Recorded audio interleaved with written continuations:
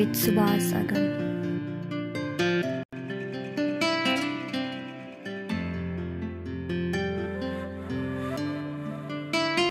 नमस्कार समादरणीय दर्शकवृन्द स्वधर्म टिभीको यो विशेष अङ्कमा हजुरलाई स्वागत गर्न चाहन्छु हामीले पोहोर साल जस्तो लाग्छ तर लगभग छ सात महिना भएको रहेछ छ सात महिना अगाडि विमल चन्द्र दाहालजीसँग एउटा अन्तर्वार्ता गरेका थियौँ धेरैजनाले मन पराउनु भएको थियो त्यसैले फेरि पनि आज हामी यहाँ रहेको यो गुरुकुलमा आएका छौँ। यो गुरुकुलको नाम चाहिँ महामती प्राणनाथ संस्कृत विद्यापीठ हो। सरस्वती नगर कृष्णधाम पनि भनिन्छ यो आश्रमलाई चाहिँ। सरस्वती नगर भनेको ठ्याक्कै भन्दा गोपी कृष्ण फिल्म हलको पछाडिपट्टि आएका छौँ। र हाम्रो साथमा हुनुहुन्छ आचार्य विमल चन्द्र दाहालजी। आउनुहोस् उहाँलाई कार्यक्रममा स्वागत गरौँ। कार्यक्रममा स्वागत छ गुरुवर नमस्कार। प्रणाम। धन्यवाद। आराम हुनुहुन्छ ठिक छ राम्रो छ। हजुरसँग भएको अन्तर्वार्ता अघिल्लो अन्तर्वार्ताबाट म पनि हजुरको वाणीबाट निकै प्रभावित भएको थिएँ। मैले जब जब संस्कृत पढेका राम्रो संस्कृतसँग संस्कृतलाई छामेका व्यक्तित्वहरूसँग संवाद गर्छु अर्कै खालको तरङ्ग महसुस हुन्छ त्यो वाणीबाट नै। र धेर थोर गुरुहरूलाई सुन्दै जाने क्रममा हाम्रो पनि त्यो बाढीमा हजुरहरूसँग बस्दाखेरि अझै हामी सजग हुने रहेछौँ। आजको अङ्कमा आजको विशेष व्यवसायमा म संस्कृत भाषा संस्कृत साहित्य विशेष गरेर संस्कृत भाषा किन पढ्नुपर्छ यो भाषामा के छ यो विषयमा म जान्न चाहन्छु ताकि हामीलाई बेला बेलामा फोनहरू आउने गर्छन् गुरु। म तपाईँको कार्यक्रम हेरेर निकै प्रभावित भइरहेको छु र मेरा सन्तानलाई मेरा बच्चा बच्चीलाई चाहिँ म संस्कृत पढाउन चाहन्छु। कहाँ पठाउने होला? के गर्ने होला भनेर बाटो पनि खोजिरहनु। भएको हुन्छ त्यो भएर आज यो विशेष अन्तर्वार्तामा हजुरसँग मैले उ गर्न खोजेको संस्कृत पढ्दा पढिसकेपछि हजुरको बोल्ने तरिका यति परिष्कृत भएको हो या बचपनदेखि नै हजुरको बोलीमा यो यो परिष्कृतता थियो मैले खास ठ्याक्कै जान्न खोजेको संस्कृत भाषा हो कि मैले चाहिँ साँच्चै हजुरले बोलेको वेद हो? बोल्दाखेरि जुन मलाई यति प्रभाव परिरहेको छ नि। त्यो आम मान्छे जस्तो म तपाईँ जस्तो मिठो बोल्न सक्दिनँ नि मैले अरू पनि संस्कृत पढेका आचार्यहरूसँग बोल्दाखेरि महसुस गरेरै यो कुरा सोध्न खोजेको। अब मेरो बोली हजुरलाई किन मिठो लाग्यो है धेरैलाई नमिठो लाग्ने पनि छन्। र त्यो हाम्रो विषय मिल्दा पनि बोली मिठो हुन्छ जस्तो लाग्छ मलाई। र अब शोध अनुसन्धानले पनि बताएको कुरा हो। संस्कृत ग्रन्थहरू पढ्नाले त्यसमा पनि पाणिनीय व्याकरण शास्त्र जसले अभ्यास गर्दछ शब्दशास्त्र त्यसको त्यो शाब्दिकहरूमा चाहिँ अलिकति विषयगत भाषागत वैशिष्ट्य हुने र विषयहरूको उठानमा अथवा बोलीमा त्यहाँ हामीले उदात्त अनुदात्त स्वरितको अभ्यास गरेका हुन्छौँ। यसको मतलब यो होइन कि बोल्दा हामीले सङ्गीतकारले चाहिँ ताल सुर हाले जस्तो खेपेर नापेर बोल्ने भन्ने त हुँदैन। विषय भनेर भने मैले होइन? तर वास्तवमा त मोटो स लागेको विषय। भन्नु पर्यो विषय भन्नुपर्ने छ होइन? अब त्यसैले नै हजुर यस्तो भन्दा संस्कृत भाषामा जे लेखिन्छ त्यही बोलिन्छ। बोलिन्छ होइन? त्यस्तो एउटा अद्भुत भाषा हो। र त्यो भएको भएर तत्सम शब्दको प्रयोग गर्दा पनि जो संस्कृत सम्बद्ध गुरुहरू हुनुहुन्छ उहाँहरूले चाहिँ संस्कृतमा हामीले जस्ताको तस्तै बोल्ने अभ्यास गरेको हुनाले अब त्यही शब्द नेपालीमा आउँदा पनि संस्कृतको माधुर्य त्यसमा ओतप्रोत भएर शब्द आइदिन्छ र त्यस्तो चाहिँ अब रसिकहरूलाई भावकहरूलाई त्यस्तो सुनिन सक्छ र यो कुरा पहिला बताउन जरुरी थियो त्यसपछि अनि यस्तो हुन्छ भनेपछि बल्ल त्यो विषयमा। रुचि होला भनेर एकदम राम्रो जस्तो हजुरले संस्कृत भनिरहनु भएको छ मैले संस्कृत भनिरहेको छु। ठ्याक्कै भन्नुहोस् संस्कृत। यस्तो छ त्यो अनुनासिक र अनुसार हो त्यो विकल्पले दुइटै रूप सिद्ध हुन्छ। संस्कृत नै धेरै जसो हामी प्रयोग गर्छौँ। अनि लोक व्यवहारमा संस्कृत पनि भनिन्छ। दुइटै भन्न मिल्छ। तर अझै हाम्रा हाम्रो परम्परामा हामीलाई जुन गुरुहरूले पढाउनु भयो। उहाँहरूले चाहिँ संस्कृत नै भनौँ भन्नुभयो। ठिक। हो र हामीले संस्कृत नै भन्न संस्कृत संस्कृत पनि भन्छन् नेपालीमा भन्दा। त्यो अनुसार पनि रहित पनि संस्कृत पनि भनेको सुन्छौँ। संस्कृत पनि भन्छन् तर वस्तुतः संस्कृत भन्दा अथवा संस्कृतम चाहिँ यसलाई भन्दा अलिक यसलाई न्याय हुन्छ मिठो हुन्छ अथवा आफूलाई सहज हुन्छ। यसको मतलब यो होइन कि भाषाको उद्देश्य भनेको अर्थको अभिव्यक्ति गर्नु हो। भाषै मात्रै पनि शब्दै मात्रै पनि आफैमा पूर्ण चाहिँ होइन। तर सम्यक शब्द प्रयोगले उत्तम भावको प्रादुर्भाव गर्नमा सहायक चाहिँ हुन्छ।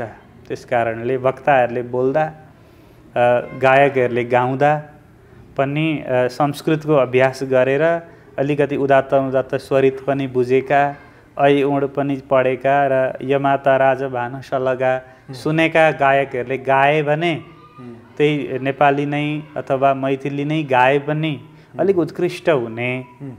अनि अचेल त अब यो सङ्गीतको विषयमा अहिले हामी छैनौँ र शाब्दबोध मनुष्यलाई जरुरी छ। भाषाबोध अत्यन्तै जरुरी छ। त्यसमा पनि संस्कृत भाषा सम्पूर्ण भाषाको जननी भाषा हो मूल भाषा हो भन्नेमा यसमा कसैको मतान्तरै छैन। त्यसमा पनि हाम्रो यो भारोपेली परिवारको नेपाली हिन्दी मैथिली जस्ता भाषामा त तपाईँको पचासदेखि अस्सी प्रतिशतसम्म। नेपालीमा त म सत्तरी पचहत्तर प्रतिशत महसुस गर्छु। हामी बोलिसक्दा तत्सम शब्द हुरुरु आउँछन्। हो। कि होइन? हाम्रो विचार उत्कृष्ट छ भन्दाखेरि विचार पनि तत् संस्कृत शब्द हो उत्कृष्ट पनि संस्कृत छ शब्द हो। छ मात्रै एउटा क्रिया चाहिँ नेपाली लाग्यो हामीले। हो? त यसरी भाषाको चाहिँ प्रयोग भएको छ। र अब हामी अझै विषयमा अब गहन तरिकाले अगाडि बढ्छौँ। त्योभन्दा अगाडि एउटा प्रश्न नेपालमा र नेपालका गुरुहरूले सिकाउने संस्कृतमा मैले कता कता सुनेको कुरा हो यो कि भारतका विद्वानहरूले भारतका गुरुकुलहरूमा पढाउने पढाएका विद्यार्थीहरूभन्दा नेपालका विद्यार्थीहरू अझै राम्रा छन्। नेपालका विद्यार्थीहरूको चाहिँ अझै राम्रो छ उच्चारण भन्ने कुरा पनि मैले गाई सुनेको छु। यो कस्तो हो? यो यस्तो हुन्छ र? त्यो पनि हुँदो रहेछ। कस्तो भने त्यो नेपाली जुन जिब्रो हो हजुर। र नेपाली जिब्रोले चाहिँ संस्कृत पढ्न अत्यन्तै अब जस्तो हामीले कुनै कुनै चिज प्रयोग गरेर कुनै सामग्री बनाउँदा फरानो मेटल चाहिँ यो बनाउन ठिक हुन्छ ठिक हुन्छ भन्ने जस्तै संस्कृत उच्चारण र संस्कृत अध्ययनमा हाम्रो यो जुन पर्वतीय हाम्रो जुन हामी छौँ। यो हिमवत खण्डको बासी। र हाम्रो चाहिँ उच्चारण नेपाली उच्चारण चाहिँ सही हुन्छ भन्ने काशीमा पनि गुरुहरूको प्रशंसा छ। र संस्कृत उच्चारणमा दक्षिण भारतीयहरू र त्यसमा पनि अझै नेपालीहरू को चाहिँ उच्चारण अत्यन्तै उत्कृष्ट हुने भन्ने चाहिँ छ। अब यसमा शोध अनुसन्धान पनि गर्न बाँकी नै होला। तर लोक व्यवहारमा भारतीय भाषामा हामी पनि दिल्ली बस्दा त्यहाँ भाषा अभ्यासहरू गर्ने क्रममा काशीतिर बस्दा उनीहरूको चाहिँ हलन्त्यम उच्चारण बेसी गर्ने। जस्तो मम नाम विमलह भने मैले मेरो नाम विमल हो भन्दा त्यो मम उच्चारण मैले सहजै गरेँ। अब मेरो उत्तेश उत्तर प्रदेशको मेरो पन्जाबको साथीले उच्चारण गर्नुहुन्छ चाहिँ मम नाम सुरेन्दर भनिदिन्छ अँ, मम नाम विमलह भन्नु पर्थ्यो उसले मम नाम भनिदिन्छ ठिक ठिक हो यस्ता खालका त्रुटिहरू जस्तो भारतीय साथीहरूलाई मैले चाहिँ प्रान्तीय त्रुटि हुन्छ अब प्रान्तीय भाषिकाहरू हाम्रो जिब्रोमा सेट भएको हुन्छ हो हामी जुन भाषा जस्तो हाम्रै नेपाली भाषामा पनि पूर्वीय भाषा अलिक मानक छ मानकको निकट छ भने पश्चिमतिर गएपछि अलिकति केही लेग्रो तान्ने त्यसमा केही अन्य अव्ययहरू जोड्ने होइन? त्यस्ता भाषाहरू छन् नि त। र त्यो प्रान्तीय प्रभाव पनि हाम्रो चाहिँ यो यो श्रृङ्खलामा चाहिँ हाम्रो पनि भाषिक ब्यालेन्स पनि नेपाली नै बोल्दा पनि हाम्रो सुगठितै भएको। र नेपाली भाषाको उच्चारणमा पनि हाम्रो एउटा सुव्यवस्थितता नित्य रहेकाले गर्दा त्यही जिब्रो जब अयौँ रिलरिकमा हाम्रो अभ्यास हुन्छ गुरुहरूले हामीलाई अब अमरकोश लघु सिद्धान्त कौमुदी गीता पढाउँदै गर्दा हाम्रो अलिकति छिटो लाग्छ कि भन्ने लागेको हो। ठिक ठिक त्यही त भारतीय साथीहरूलाई जस्तो नेपाली सिक्छु भनेर कहिलेकाहीँ भन्यो भने मेरो नाम सुभाष हो अथवा चाहिँ यो राम्रो छ भनेर भन्न सिकाउँदा त्यो छ नै भन्न नसकेको मैले देखेको छु कि। छ भन्ने शब्दै छ टक्क भन्न। नसकेको। अनि अन्य भाषा पनि जस्तो नेपाली जिब्रोले विदेशी भाषा सिक्दा बोल्दा पनि। जस्तो अहिले सुगमजीले अङ्ग्रेजी बोल्नुभयो भने अङ्ग्रेजले नै जस्तो बोल्न सक्नुहुन्छ। अर्को भाषा सिक्दा पनि त्यस्तै सिक्दो रहेछ नेपालीले चाहिँ। त्यसमा चाहिँ प्रान्तीयता जस्तो इन्डियनले बोलेको अङ्ग्रेजी र छ्याङ्गै। चिनिन्छ। तर नेपालीले अङ्ग्रेजी बोल्यो भने अङ्ग्रेजले जस्तो बोल्छ। जस्तै बोल्छ। ठिक भन्नुभयो त्यसले त्यो लवजलाई लिँदो रहेछ। भनेपछि यो पर्वतमा यो हिमश्रृङ्खलामा चाहिँ हाम्रो सिक्ने क्षमता चाहिँ तीव्र रहेछ। र हाम्रो जिब्रो ठिक रहेछ। जिब्रो ठिक रहेछ अनि कुनै पनि वस्तु चिजसँग हामी जस्ताको तस्तै तादात्म्य गर्न सक्दो रहेछौँ भन्ने पनि देखियो। र हामी सिक्दा पनि छिट्टो सिक्ने रहेछौँ। दुइटै कुरो हो। हामी बिग्रियौँ भने पनि स्वाटै बिग्रिने रहेछौँ। किन त्यस्तै भइहाल्छौँ नि त हामी। हो। कि हामी स्वाट्टै ऋषि पनि भइ भइहाल्न सक्ने रहेछौँ। हामी अलिकति विसङ्गतिमा पऱ्यौँ भने स्वाट्टै असुर पनि। असुर पनि भइहाल्न सक्ने रहेछौँ। त्यो दुइटै सम्भावना चाहिँ हामी गोर्खा जातिमा रह्यो। बहुत सुन्दर। यति भनिसकेपछि दर्शकहरूलाई एउटा गर्वबोध भइसक्यो अब। ओहो म सिक्न सक्दो रहेछु एकदम, एकदम। भन्ने। सिक्न। अब चाहिँ त्यसपछि अब हामी संस्कृतमा प्रवेश गरौँ। हजुरले चाहिँ विगत केही लामो समयदेखि संस्कृत पढाइरहनु भएको छ। इभन टेलिभिजनहरूमा पनि गएर पढाउनु भएको छ। यहीँ गुरुकुलमा नि विद्यार्थीहरू पढाउनुहुन्छ। धेरै अहिले पढ्न आइरहनु भएको छ। इन्टरभ्यूको लागि नै तपाईँलाई समय मिलाउन गाह्रो भइरहेको थियो। संस्कृत धेरैले सिक्न चाहिरहेको म देखिरहेको छु। इभन म पनि सिक्न चाहन्छु। मेसो मिलिरहेको छैन। संस्कृत सिकेर अब हामी जस्तो एउटा चाहिँ अल अलरेडी केही काम गरिरहेको प्रोफेसनल लाइफमा गइसकेकोहरूले सिक्ने कुरा एउटा रहला। एउटा विद्यार्थीहरूले अब प्लस टू सकिसकेपछि या दस कक्षा सकेपछि नै पढ्न चाहने कुराहरू रहला। अब यो विषयमा चाहिँ ठ्याक्कै पहिलो कुरा के आउँछ भन्दाखेरि मैले संस्कृत पढेँ भने कहाँ काम लाग्छ? अहिलेको त जमाना भनेको त प्र्याक्टिकल्ली कहाँ काम लाग्छ भन्ने कुरा सोध्ने जमाना छ हेर्नुहोस्। पहिला जीवले फल हेर्छ। फल हेर्छ फल। के मिल्छ भन्ने चाहन्छ अनि बल्ल कार्यमा प्रवृत्त गर्छ। जस्तो प्लस टू पास भइसकेपछि अथवा टेन क्लास पास भइ भइसकेपछि। यसै पछिको चाहिँ त्यो एउटा कुनै स्कुलको एउटा फोटो भाइरल भएको थियो नि ल साथी अब अरबमा भेटौँला ल अब अस्ट्रेलियामा भेटौँला अब दुबईमा भेटौँला भनेर टी सर्टभरि बच्चा बच्चीहरू लेखेका थिए। मतलब अहिलेको बच्चा बच्ची भनेको पढिसकेपछि युरोप अमेरिका अस्ट्रेलिया अरब स जाने हो त्यहाँ कर्म गर्ने नेपालमा कर्म गर्न सकिन्न भन्ने चाहिँ माहौल छ। देशको अवस्था त्यस्तो छ। यो अवस्थामा विदेश गएर मैले काम गर्नलाई कुन विषय पढेँ भने काम लाग्छ भनेर पढ्ने समय छ अहिले। होइन? यो विषय पढ्यो भने काम लाग्छ यो विषय पढ्यो भने काम लाग्दैन। यो विषय पढ्यो भने भिजा लाग्छ लाग्दैन भन्ने चाहिँ जमाना आयो। यस कारणले संस्कृत भाषाको स्कोप कस्तो छ विदेशसम्ममा र यो भाषाले अन्य विविध पक्षमा कसरी सहयोग गर्छ यसलाई चाहिँ हजुरले चाहिँ सिलेबल रूपमा बताइ बताइदिनुहोस्। एकदमै केन्द्रीय प्रश्नमा आउनुभयो हाम्रो सुभाषजी।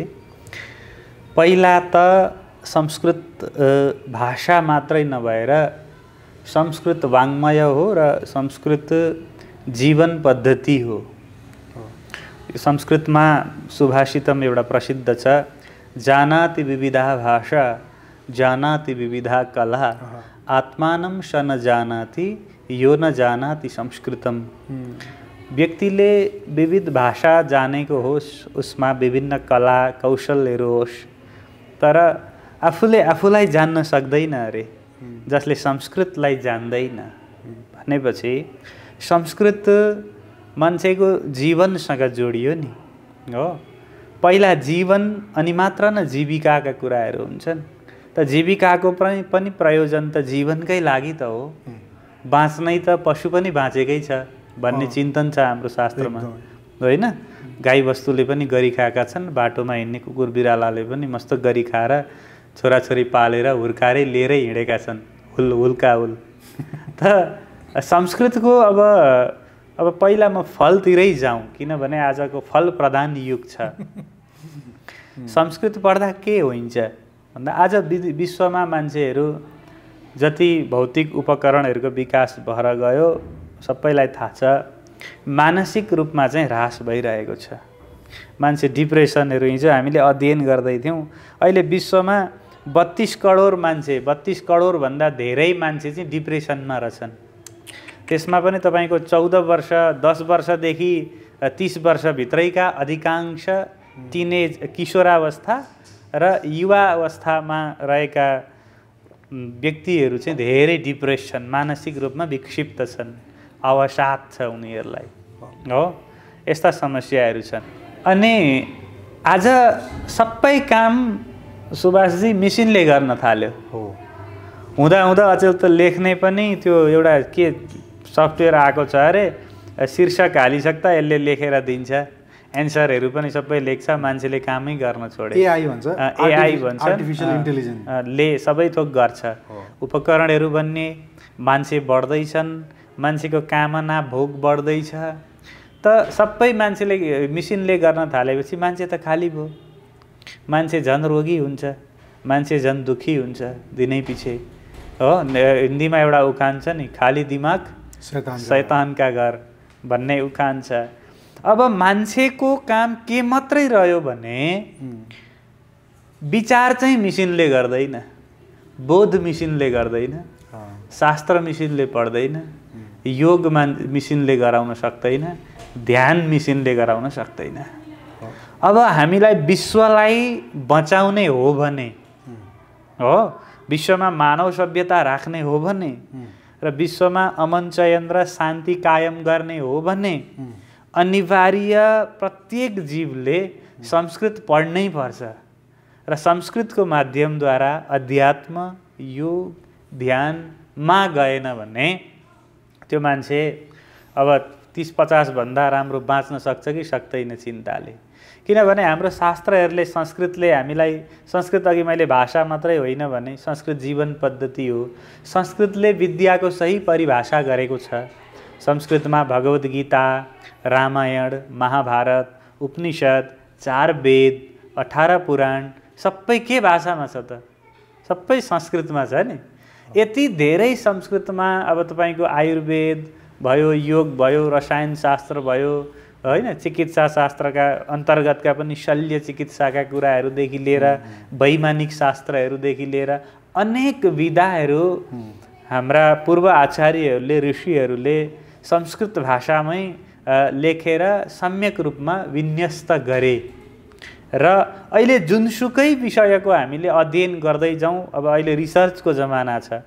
शोध अनुसन्धान गर्दै जाँदा पूर्व कार्यको समीक्षा भनेर आउँछ नि त्यहाँ। अगाडि गरेका कामको खोजी गर्दा खोज्दै जाँदा स्रोत खोज्दा त्यो संस्कृतमा कुनै ऋषिले कुनै आचार्यले कुनै महापुरुषले त्यो गरिरहेको हुन्छ अघि। र त्यो कुरोको विषय गएर संस्कृतमै जोडिन्छ। र आज स्कोपको कुराबाट म यो कुरो उठान गर्दैछु। र सबै कुरोको स्कोप सकिँदा पनि संस्कृतको चाहिँ स्कोप भइरहन्छ। र म हाम्रा नेपाली दाजुभाइ दिदीबहिनी अहिले भर्खर बाह्रको परीक्षा दिएर अब कहाँ पढ्ने भन्ने पनि टेन्सन छ। यो पनि अगम सुभाषजीको प्रश्नमा आउँदै थियो होला मैले यही श्रृङ्खलामा राख्न। चाहेँ। र के पढ्ने भन्दाखेरि संस्कृत पढौँ। हामी विदेश जाउँ न तर विदेश जाँदा पनि हामी अब बेल्चा हान्न भुइँ पुस्न फुलबारी गोड्न मान्छे स्याहार्न होइन? हामी मान्छे स्याहारौँ हामी मानवताको पुजारी नै बनौँ तर उनीहरूलाई बौद्धिक रूपमा स्याहार गरौँ। गएर हामी उनीहरूलाई योग सिकाउँ। नेपालबाट फलानु हिमालको फेदमा यति वर्ष अभ्यास गरेर शास्त्र पढेर आएको स्वामीजी हुनुहुन्छ गुरु हुनुहुन्छ उहाँसँग बसेर योग गरौँ। हामी विश्वलाई योग सिकाउँ विश्वलाई ध्यान सिकाउँ हामी विश्वलाई गीता पढाउँ। हो कि होइन? हामी विश्वलाई मन्त्रहरू सिकाउँ हामी विश्वलाई सात्विक जीवन जिउन सिकाउँ हामी विश्वलाई वैदिक पद्धति सिकाउँ। यसको पछि विश्व लाग्छ नि मजाले। र हामीले आफूलाई त्यो रूपमा चाहिँ अभ्यस्त गर्न जरुरी छ संस्कृत पढेर। र संस्कृत भन्ने बित्तिकै जनसाधारणमा चेतनाको कमीले गर्दा यो केही जात विशेषको अथवा बाहुनले पढ्ने होइन? अनि त्यसमा पनि पुरुषले मात्रै पढ्ने खालका विभिन्न भ्रान्तिहरू छन्। अ, स्त्रीहरूले वेद पढ्नु हुँदैन व्यासमा बस्नु हुँदैन अथवा प्रवचन गर्नु हुँदैन भन्ने कुराहरू पनि यस्ता यस्ता भ्रान्तिहरू छन् अनि संस्कृत भन्ने बित्तिकै अचेलका पुस्ताहरू लजाउने संस्कृत भन्नै पनि लजाउने बोल्न पनि लजाउने अनि एउटा मन्त्र बोल्दा पनि ला मैले मन्त्र बोलेँ अब मलाई कसैले फर्केर हेर्छ कि? अथवा मलाई बाजे भन्छ कि? मलाई पण्डित बाजे भनिदिन्छ कि? भनेर हामी नै यति सङ्कुचित भयौँ। अब फेरि एउटा अङ्ग्रेजले आएर फेसबुकमा मन्त्र बोलिदियो भने चाहिँ हामी फेरि सेयर गर्छौँ। सेयर गर्छौँ हामी आज कसरी विसङ्गतमा फँसेछौँ भने सुभाषजी? त्यही त नेपालीले एउटा लोकगीत गायो ठेट लोकगीत गायो भने कसैले हेर्दा नि हेर्दैन। हेर्दैन। अर्को मुखर्जीले आएर नेपालको पुरानो लोकगीत गाइदिँदाखेरि गाइदियो भने? हामी सबैले सेयर गऱ्यौँ नि त। र त्यो भयो। अनि अर्को कुरो त्यही कुरो अङ्ग्रेजले भनेको मात्रै मान्ने। हामी यस्ता भएछौँ। हाम्रो बुवाले भनेको नमान्ने नमान्ने। गुरुले भनेको नमान्ने गीतामा भगवान्ले पाँच हजार वर्ष अगाडिदेखि भनिरहनु भएको छ नमान्ने। त्यही कुरो एउटा गोरोले आएर गोरो छाला भएको खैरो आँखा भएकोले आएर भन्यो भने अब लु यो चाहिँ रहेछ मार्ग भन्ने। त्यो खालको वातावरण भयो। र आजको जमानामा अब बाँच्नु छ भने हेर्नुहोस् संस्कृत राम्रो पढ्न सकिएन। अलिअलि पढियो शास्त्री नै गर्न सकिएन डिग्री पुरा भएन तर केही मन्त्रहरू पढ्न सक्यो पूजापाठसम्म गराउन सक्यो अथवा पचासवटा राम्रो मन्त्र याद गर्यो भने पनि त्यो विद्यार्थीले गरी खायो। सुभाषजी त्यो मन्त्रमा त्यति शक्ति छ। हो? अब राम्रो पढ्दै गयो भने उसले अब त्यो फला सम्बन्धित विषयमा शास्त्री गर्यो आचार्य गर्यो विषय विज्ञ भयो भने ऊ आचार्य भएर प्रशिक्षण गुरुकुल चलाउन सक्छ अनि धर्मशास्त्रहरू अध्ययन गर्यो भने व्याख्यान प्रवचनहरूमा कथा पुराणमा पनि उसको क्षेत्र भयो। अनि शिक्षण गर्न सक्छ। संस्कृत पढेको विद्या विद्यार्थीले नेपाली तथा अङ्ग्रेजी विषयलाई पनि छिटो सिकेर त्यसको राम्रो शिक्षक बन्न सक्छ। अनि संस्कृत पढेपछि पुरै त्यहीँ पण्डिताइ नै गर्नुपर्छ भन्ने छैन। अब शास्त्री भनेको हाम्रो ब्याचलर्स सो सरह हो। हाम्रो यत्रो नेपालमा नेपाल संस्कृत विश्वविद्यालय छ। होइन यसका चाहिँ दसवटा आङ्गिक क्याम्पसहरू लगायत अन्य पन्ध्रौँ सोह्रौँ कति भइसके सम्बन्धन प्राप्त विद्यापीठहरू छन् जसमध्ये हाम्रो पनि एउटा हो। र यस्ता विद्यापीठमा पढाइ भइरहेका छन् र संस्कृत पढेर अरू काम पनि गर्न सकिन्छ। शास्त्री सकेर अधिकृतमा नाम निकाल्ने पनि साथीहरू छन्। उसले झन् छिटो पो निकाल्दा रहेछन्। एउटा रिसर्चले के बतायो भने संस्कृत पढेको विद्यार्थीले जुनसुकै विषयलाई छिटो नाम निकाल्न सक्दो रहेछ।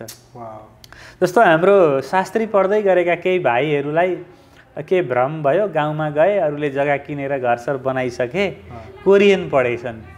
पढे जति संस्कृत पढेर रुद्री चण्डी कौमुदी पढेर कोरियन पढेकाले सबैले नाम निकालेर कोरिया गइ गए ओहो। जापानिजमा नाम निकाल्ने संस्कृत पढेका कोरियनमा यी त सामान्य कुरा भए। होइन? भनेपछि कुनै पनि कुरो छिटो सिक्न सक्दो रहेछ। अनि लोकसेवामा नाम निकाल्नेमा पनि अहिले संस्कृत पढेकाहरूको रेटिङ बढिरहेछ।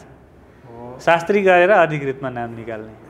उसले त ग्रन्थ सबै रडिदिन्छ नि त। त्यो चाहिँ पाणिनीय व्याकरण पढेर उसको माइन्ड त सेट भएको छ नि त। किनभने संस्कृतमा हाम्रो कस्तो परम्परा रहन्छ भने ग्रन्थ ग्रन्थै कण्ठ गर्ने।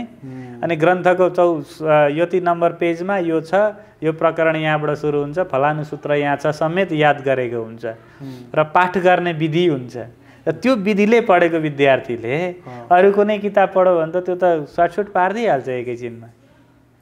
हेर्नु त संस्कृतको उपयोगिता र संस्कृत पढेर हामीले अरू भाषामै हामी काम गर्दैछौँ। अरू विधा म डक्टर छु म इन्जिनियर छु भने पनि हामीले सबै विषय पढेर सबै सिप कला सिकेको आखिर के का लागि? आखिर भन्दा गरी खान रहेछ। डक्टर भएर मानव सेवा गर्न औषधिको बट्टा लिएर गाउँ गाउँ हिँड्न त होइन रहेछ। हो? एक एकाधले गरे गरे होलान्। गोविन्द केसी गोविन्द। केसी जस्ता एकाध होलान्। तर राम्रो जीवन जिउन। जीवको उद्देश्य के छ? राम्रो जीवन जिउन अलिकति भात मिठो खान एउटा गाडी घोडा चढ्न एउटा घर जम यसो जोड्न भन्ने नै जीवको उद्देश्य हो। हामीले विद्यार्थीलाई सोध्छौँ बाबु तिम्रो जीवनको उद्देश्य के छ? भन्दा कसैले भन्यो भने मेरो डक्टर हुनेछ कसैले इन्जिनियर हुनेछ भनेको हामी सुन्छौँ नि। यो पनि उनीहरूको वास्तवमा आफ्नो विचार होइन। यस्तो हुनुपर्छ हुनुपर्छ हुनुपर्छ भन्नेकाले आयातित विचार हो। डक्टर इन्जिनियर पाइलट कर्मचारी हाकिम यो कहाँ उद्देश्य हो त? यो त साधन पो त। म बाँच्नलाई फलानु भइदिएँ। म त्यही भएकोले त म कहाँ खुसी छु? मलाई छुट्टी चाहिरहेछ हेर्नुहोस्। र संस्कृत विषय चाहिँ मान्छेको जीविकासँग मात्रै होइन जीवनसँगै सम्बद्ध विषय हो। किन? कि विद्याको म यहाँ परिभाषा जोड्न चाहन्छु संस्कृतले शिक्षाको परिभाषा। अब शिक्षा भनेको के हो संस्कृतमा? शिक्षा विद्योपादाने धातुबाट शिक्षा बन्छ जसको अर्थ हुन्छ विद्याको उपादान गर्नु। विद्यालाई सङ्ग्रह गर्नु विद्या के हो भन्दा वेदले भन्छ सा विद्या या विमुक्तए आहा। विद्या त्यो हो जसले मुक्ति दियोस् दिन्छ। जसले जागिर दियोस् जसले नाम दियोस् भन्छ हेर्नुहोस् त कुन लेभलमा परिभाषा छ हो सा विद्या या विमुक्त विद्या त्यो हो जसले चेतनाको उद्धार भएको हुनुपर्छ बोध भएको हुनुपर्छ मुक्त भएको हुनुपर्छ अनि सबैलाई चाहिएको चाहिँ मुक्ति नै हो नि अन्ततोगत्वा कुनै पदले प्रतिष्ठाले मानले ठाउँले दामले त जीव खुसी रहेन रहेछ नि। हो। त्यो कुरो केन्द्रीय कुरो संस्कृतमा छ। र हामीले अनिवार्य अन्य विधाकाले पनि संस्कृत पढौँ गीता पढौँ उपनिषद पढौँ इत्यादि कुराहरू हामी भन्न चाहन्छौँ।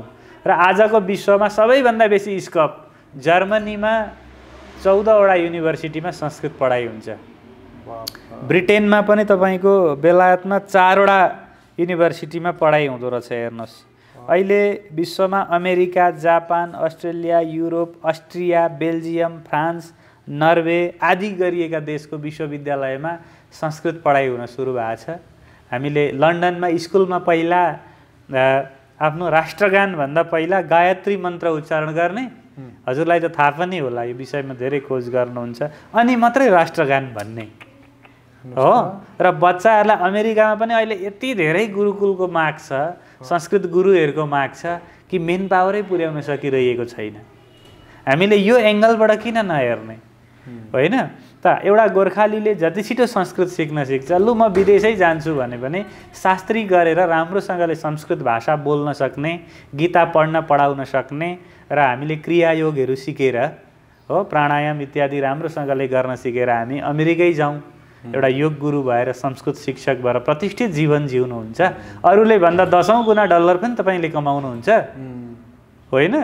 तपाईँ एउटा लेबर भएर विदेशमा जानु र एउटा आचार्य भएर विदेशमा जानुमा कत्रो अन्तर छ। हो। तपाईँमा अब भाषिक अभ्यास पनि गरेर अङ्ग्रेजी भाषा पनि बोल्न सिक्नुभयो र संस्कृतको ज्ञानलाई अङ्ग्रेजीमा भनिदिनु भयो भने त्यसले छ गुणा बेसी काम गर्दो रहेछ। हामीले देखेका पनि छौँ संस्कृत धेरै नपढेका। तर अङ्ग्रेजी पढेर पनि संस्कृतका केही शास्त्रहरूलाई अलिकति ध्यान दिएर हेरेर अभ्यास गरेर त्यो विषयमा बोल्ने व्यक्तिहरूले धेरै सामाजिक रूपमा फलको कुरो गर्दैछु म यहाँ तत्त्वको कुरो गर्दै छुइनँ है म दर्शकलाई स्पष्ट गर्न चाहन्छु। फलको विषयमा संस्कृतलाई अलिकति प्रयोग गर्दा पनि धेरै फल प्राप्त गरेका छन् मान्छेले। हो? आज अब तपाईँले बजारमै हेर्नुहोस् न एउटा पुराण कथावाचकले जति धन आर्जन गर्न सकेको छ उस उसलाई जति मान्छेले चिन्छन् त्यति कहाँ फिल्मको हिरो हिरोइनलाई चिन्छन्। हो। आज केही सबै त्यस त्यो लेभलमा नपुग्लान् सबैले त्यो तपाईँको टेक्नोलोजीको प्रयोग नगर्लान् तर त्यसले संस्कृतमा पाण्डित्य पनि हासिल गरेको होस् नहोस् त्यो पनि दोस्रो कुरो हो। तर उसले श्रीमद् भागवत भनेकै भरमा धर्म सनातन संस्कृत वेद यी पाँच छवटा शब्दको रेगुलर प्रयोग गरेकै भरमा। र पन्ध्र बिसवटा मन्त्रको उच्चारण गरेकै भरमा ऋषि भनेकाले वेद भनेकाले पनि ऊ त्यहाँ छ।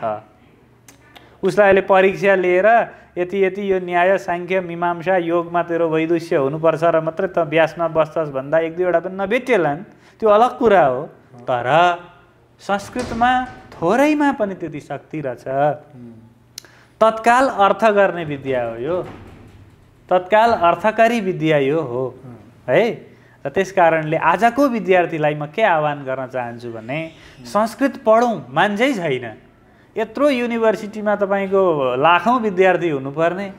हजारौँमा पनि एकदम अल्प हजारमा विद्यार्थी छन्। जुन कुरो अहिले म यहाँ भन्न चाहन्न। हामीले संस्कृत पढौँ नि शुल्क आवास भोजनको व्यवस्था गर्दा पनि आज विद्यार्थीहरूलाई त्यो सम्प्रेषण नभएर हो कि जानकारी नभएर हो कि यो विषयमा त महिनौ बोलिरहनु पर्छ भन्ने लाग्छ मलाई त सुभाषजी। किनभने आजको जमाना भनेको प्रचारको जमाना रहेछ। एउटा मदिराको प्रचार दिनमा पचास खेप बज्छ टिभीमा। हो, हो दारू खाउँ दारू खाउँ भनेर पचास खेप बज्छ। अनि संस्कृत पढौँ संस्कृत पढौँ भनेर पनि कम्तीमा दिनमा दस खेप चाहिँ भन्नुपर्छ कि हामीले? अनि चाहिँ मान्छेको चेत खुल्छ कि जस्तो लाग्छ मलाई।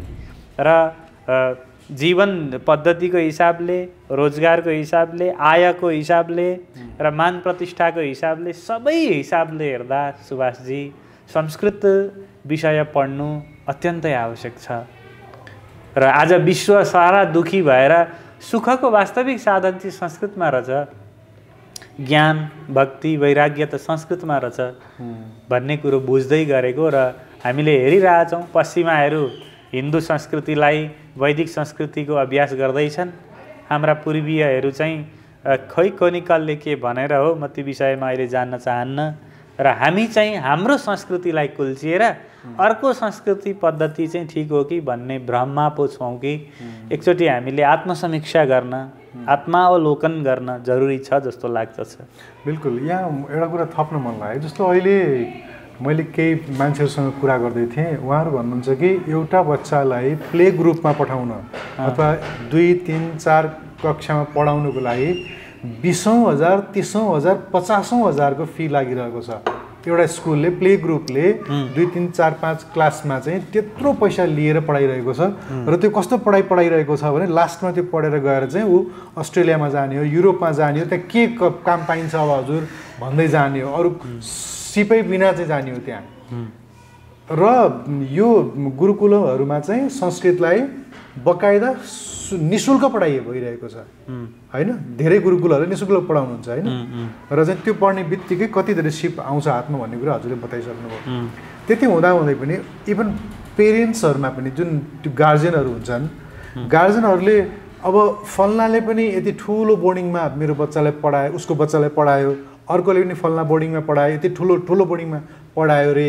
अनि उ त उसले त अब गुरुकुलमा पण्डितजी बनाउन पठायो रे।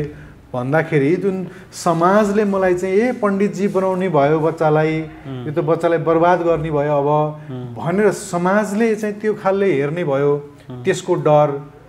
र गुरुकुलमा गएर आउने बच्चा बच्चीले लगाएको त्यो धोती देखेर पालेको टुप्पी देखेर जुन समाजले उसलाई चाहिँ नराम्रो दृष्टिले हेर्नेवाला छ त्यसको डरले यी यी विषयले गर्दाखेरि मान्छे चाहिँ पढाउन चाहिँ चाहन्न। मनमा श्रद्धा पनि छ थाहा पनि छ। एउटा घरमा सामान्य श्राद्ध भएको दिनमा चाहिँ पण्डितजी नपाएर आपत परिरहेको हुन्छ। एउटा श्लोक पढ्न नजान्ने अवस्था छ। तर समाजमा हामीले यस्तो खालको सिचुएसन क्रिएट गरेका छौँ कि जसले गर्दा गर्वबोध नै छैन यो भाषाप्रति। पढाउँदाखेरि राम्रो हुन्छ भन्ने प्रति। यस्तो रहेछ सुभाषजी। यो बोध गर्ने कुरा मान्ने कुरा पनि वर्षौँको अभ्यासले मान्छेमा त्यस्तो मानसिकता बनाइदो रहेछ। जस्तो अस्ति भर्खरसम्म तिलक लाउँदाखेरि अलिकति हामीले लज्जाबोध गरिरहेको अवस्था थियो।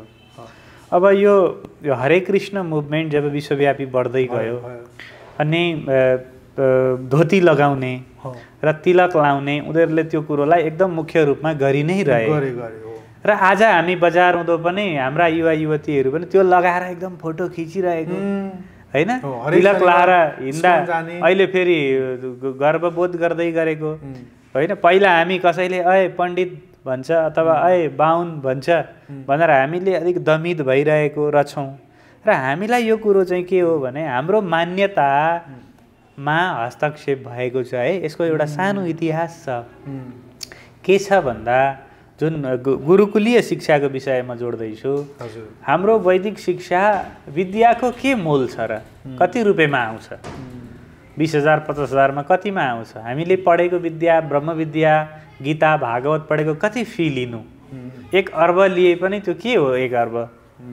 त्यस कारणले हामीले नि शुल्क पढाउनुपर्छ भन्ने ऋषि चिन्तन हो, हो। जुन ईश्वरले जुन भगवान्को बाणी बोध गरेर आज हामीले मनुष्य जीवन सफल पारेका छौँ र जुन भगवान्को नाम उच्चारणले मात्र आज मैले बस्न पाएको छु खान पाएको छु म जीवित छु र मैले एउटा शान्तिको श्वास फेर्दैछु जुन श्वासको कुनै मूल्य छैन। छ त? मेरो विचारको मैले यो श्वासको कसलाई बिल तिरेको छु र? आँखाले हेरेको मेरो यो भिजनको कसलाई बिल तिरेको छु र? र यो विद्या प्रकाश हो र मैले देखेको कुरो भन्नुपर्छ भन्ने बेसमा बसेर संस्कृत पढाउने हो। हो? र त्यो बेसमा बसेर संस्कृत पढाउँदै गरेको र सबै मानवलाई एक मानेर हिँडिरहेको भारतीय संस्कृतमा पहिला एउटा अङ्ग्रेज लर्ड मेकाले भन्ने मान्छे भारत आएछ। त्यो सानो किस्सा म यहाँ जोड्न चाहन्छु। त्यो लर्ड मेकाले भन्ने मान्छे जब व्यापारको सिलसिलामा भारत आयो भारतका जुन व्यापारी साथी हुन् हाम्रा ती व्यापारी साथीले उनलाई समुद्रबाट स्वागत गरे बन्दरगाहबाट आए अनि आफ्नो कार्यालयमा लाने क्रममा कार्यालयको उसमा उभिएको चाहिँ द्वारपाल अलिकति आफूभन्दा ज्येष्ठ बुवा समानको हुनुहुँदो रहेछ। अनि उहाँलाई त्यो भारतीय साउले साउजीले अ, कार्यालय प्रवेश गर्नु पूर्व चरणमा प्रणाम गरेर उनी प्रवेश गरे। काकाले आशीर्वाद दिनुभयो। अङ्ग्रेज छक्क पऱ्यो लर्ड मेकाले। अरे यो कस्तो खालको यो के गर्छ? उसले बोस भएर पनि आफ्नो सर्भेन्टलाई यसले त ढोक्दैछ अनि यो के हो? उसले व्यापारको कुरो भन्दा पनि पहिला उसलाई यो कुरोले छोएछ लर्ड मेकालेलाई। अनि उसले प्रश्न गर्छ कि तिमीले यो आफ्नो वाचम्यानलाई कसरी ढोकिरहेछौ? तिमी बोस हो कि ऊ बोस हो? होइन नि यो बोस सोच त के हो र? पैसा आज मसँग छ तपाईँसँग छ भोलि छैन। यो मिथ्या चिज हो। यो असत हो। तर ऊ जहिल्यै पनि मभन्दा अग्रज हो पिता हो अग्रज ज्येष्ठ जहिले पनि पूजनीय हुन्छ यो हाम्रो संस्कार हो यो हाम्रो जीवन पद्धति हो। र आज मसँग दुई चार रुपियाँ छ भन्दैमा मेरो मर्यादालाई धर्मलाई मैले बिर्सन मिल्दैन। र यो प्राणमा हामी बाँच्छौँ। भनेपछि अत्यन्तै छक्क परेछ।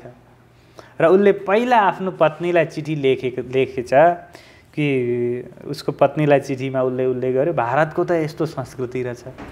हामीले कुनै हालतमा भारतलाई जित्न सक्दैनौँ। हो। भारतीय संस्कृतिलाई जबसम्म हामी फेर्न सक्दैनौँ तबसम्म हामी यो देशमा साम्राज्य गर्न सकिँदैन। अङ्ग्रेजी शासन के गर्ने त? भन्दाखेरि शिक्षा बिगार्नुपर्छ पहिला। र अङ्ग्रेजहरू बसेर गृह कार्य सुरु गरे। र अङ्ग्रेजहरूले पहिला गुरुकुलहरूमा भएका गुरुहरूलाई अलिकति केही पैसा दिने प्रलोभन दिने र फी सिस्टमहरू लागू गर्ने अनि अङ्ग्रेजहरू केही आउन थाले प्रलोभन दिन थाले प्रलोभनमा पर्ने मान्छे त पर्छ नि। पर्छ। अनि पर्नेको सङ्ख्या बढ्दै गएपछि मान्छेको जैविक स्वभाव हो कि ऊ भिडको पछि कुद्छ। हो? एउटा जादुगर आएर यहाँ हुर्र मान्छे एक सौजना भयो भने एक सौ एकौँ मान्छे के रहेछ त्यहाँ भनेर आफै आइहाल्छ। मान्छे भिडमा कुद्छ। र जब मान्छे बिकाउ मान्छेहरू अङ्ग्रेजले बनाए र यो गुरुकुलीय पद्धतिमा संस्कृतलाई संस्कृतमै पढाउने हाम्रो प्रत्यक्ष पद्धति थियो। हो। प्रत्यक्ष विधि जस्तो अहिले अङ्ग्रेजीलाई अङ्ग्रेजीमै पढाउँछन् नि। भुरादेखि नै अङ्ग्रेजीमै बोलेपछि कक्षा दुई तिनमा पुग्दा अङ्ग्रेजी बोल्छ। किन? नेपाली बोल्दा त त्यहाँ एक सौ रुपियाँ तिराउने स्कुल पनि छन् यहाँ। हो। र अब उनीहरूले अनुवाद विधि ल्याइदिए। संस्कृतको पढेर हिन्दीमा भनिदिने गुजरातीमा भनिदिने त्यसो गर्दा संस्कृतबाट हाम्रो दूरी बढ्दै गयो।